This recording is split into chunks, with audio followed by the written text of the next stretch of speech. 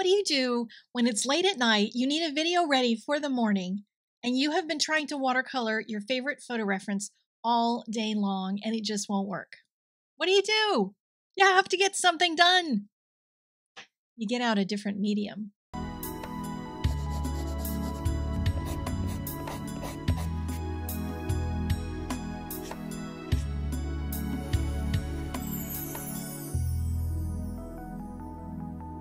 This video is dedicated to all of those who think I walk on water because I see your comments. Is there nothing you can't draw or paint? Yes, and this photo is it. I have had this photo in my little photo album that where I collect things at Paint My Photo. I've had it there for years and I try painting it every year. And this year was no different. I failed at it again. I was just not able to paint it. I tried all day on Monday. I was painting all morning and could not, for the life of me, get anything going. I could paint the leaf, I could paint the the cones, whatever they are, and I could paint the background, but I couldn't do all three in one painting. There's always something that completely screwed up. And I started feeling terrible about myself because there's nothing like wanting desperately to get something to work and having it not work. That happens to all of us. And sometimes it's that the subject matter is just too hard. And I think, given that I've tried this for years, that's possible. I also need to work on some techniques that I, I think now I have a better idea what I want to do. So I'm probably going to try it again. I'm going to get back on the horse. But by 4:30 in the afternoon, I had decided instead of trying to watercolor it again, I was going to create this in pastels. And this pastel study has actually taught me some things that I want to try in watercolor because I worked out some of the color issues that I was having when I was painting. And I'm not sure how I'll create them in watercolor, but at least I know what I want to create. So if you're frustrated, if you hit the wall with something that you're trying to paint, you're trying to draw in whatever the medium is, it's okay to say, you know, this one's just tough right now. It's kicking my butt, and I'm going to move on. You can either move on to a different subject matter in the same medium, if that's if you're a one medium person, or it just switch to a different medium, like I did. It's no no failure to just be able to say, yep, I didn't do that one well, and I'm going to go back and try it again another time, but it's not working for today. Now, for me, some days just aren't watercolor days because no matter what I do, I, uh, you know, I can't make my brush do what I want it to. And maybe I've just been doing pastel for the last month and my, my hand forgot how to paint. Although I did a, a watercolor sketch in my last video, so that's probably not completely true, but it's always hard to say what it is that makes you have a good day or a bad day with your medium. But in any case, it doesn't mean you're not an artist if you have a bad one. Now, I have to say, when I had that many failures with the watercolor, I started having my, my doubts about myself. But this drawing in pastel really brought me back to okay, I can do this. I, I can handle this because you know just you get those little that little doubt in your mind and you have to somehow figure out how to deal with it and for me it's just getting back on that horse. I know a lot of people will say if you you're having a hard day just go for a walk you know get out of the studio. For me that doesn't work because what i end up with is carrying that feeling of being a failure as an artist into whatever else it is that i'm doing I find it really hard to get back into the studio the next time because I'm worried that that's going to happen again. It's a lot better for me to just switch mediums, sometimes switch the whole subject matter, but do something else, make something else so I can prove to my brain that it was just that one thing. I'm still an artist. And sometimes we have to play games with our brains so if you're that kind of person, don't feel bad if you have to do a little something to try to get your head wrapped around the fact that you're still an artist. Even after a bad day, you're still an artist. Now, you might be surprised that I'm using pastels here because I don't really have pastels much on this channel. I think I have one other pastel video, maybe two. But I have been working with pastels for the last month or so in anticipation of taking some commissions in December. I've talked about that before, and today was going to be the day that I was going to start accepting applications for commissions. I was very excited. I have a bunch of samples done. I can't wait to show them to you. But I had a little tech issue that came up this morning. It was crazy. I woke up and I had like 400 emails from my website. There was uh, like one of those robots, internet robots, that found the form. It's on a hidden page, but it found it and filled out the form 400 times with gibberish in it. Now, there's no way it can hack into my system or anything. It just like pounded that page and kept filling out the form. And I changed the CAPTCHA to something else um, there's all different types of CAPTCHA. So I changed it, and like six hours later, it came back and did it again. So I changed the CAPTCHA again to a different kind, trying to outwit this thing. And so far, it seems to be working. But I decided I didn't want to launch the form and you know the application for commissions until I was sure that that was settled because then I'll have 400 emails from it and then like two emails from uh, clients and that would be weird. So I'm going to, you know, try on Saturday instead to talk more about the commissions. But if you have questions about commissions, you can leave them in the comments on this one. I will tell you a few things because uh, I've had a few places I've posted about the commissions and I've had some questions. One of which was, why am I doing pastel commissions and not like watercolor or Copic markers or something? And there's very good reasons. One, Copic markers are not light fast, and I'm not going to sell you a piece of artwork for a commission price that's going to fade. And if you ever try to sell something like that, you have to let the the client know because you know it's not fair if you you charge them a lot of money for your drawing and then it disappears on their wall. So there's that.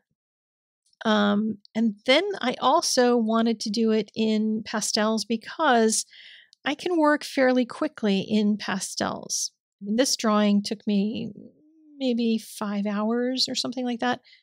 And I've been practicing pet portraits, and you know, those are taking, you know, five or six hours, whatever. I, I guess depending on what size, different ones take different amounts of time. But if I were to try, you know, a pencil drawing, a color pencil drawing, it would take way longer than that. I can cover more real estate with the pastel more quickly, especially when we're talking backgrounds and everything. And um, you know, doing fur and that kind of stuff, the blending is faster with pastels. Plus, these are all mom's pastels from the 50s. She sent me the ones that you see here on camera a long time ago, and I've used them some but they kind of arrived in tiny pieces. As you can see, they're really small. And those tiny pieces are okay to work with, but now I have the rest of her pastels as well. So if one of these colors runs out, I have more selection I can choose from. Because when I went home in September, she gave me the entire case of them because she's decided at her age she's not going to be taking up pastels anymore.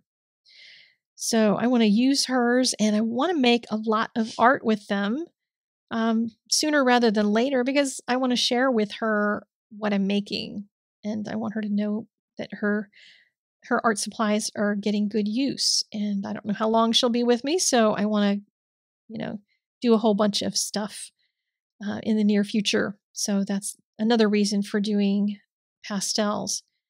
And then there's also the the uh, the watercolor issue. There's some things I can't paint. So I'm more trustworthy with something like pastel in knowing that, yes, I can draw a leaf.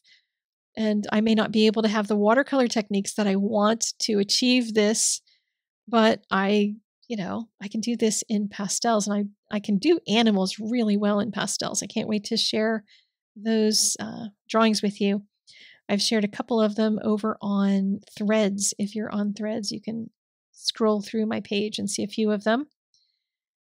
But yeah, so that'll hopefully be this weekend because I do want to get that going and figure out if anybody actually wants any commissions from me. I've had a few uh, requests for them and have been telling people just wait till December and hopefully they'll see the video when it comes out and find out that yes, it's now available.